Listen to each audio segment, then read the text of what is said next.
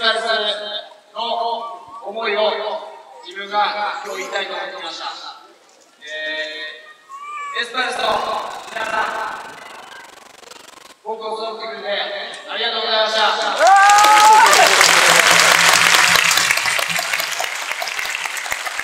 皆さんと過ごした6年間は本当に忘れられない時間で本当に素晴らしい苦しい時期も皆さんの声援に本当に助けられました。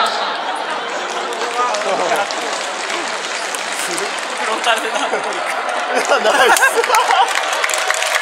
喧嘩売ってんな完全に風呂入れ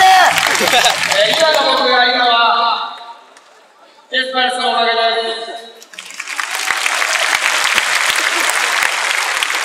それを舞台に今日は来ました。これからも僕はエスパルスが大好きですこれからもエスパルスをお願いします今エスパルスが苦しい状況でおっしゃるかもしれないそんな状況で一番大事なのは皆さんのパワーだと思います皆さんが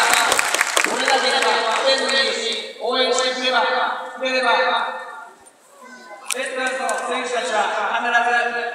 立ち上がって何度も挑戦すると思います。今日のロッカー戦も厳しい試合になると思います。がみんなの力で勝利を目指しましょう。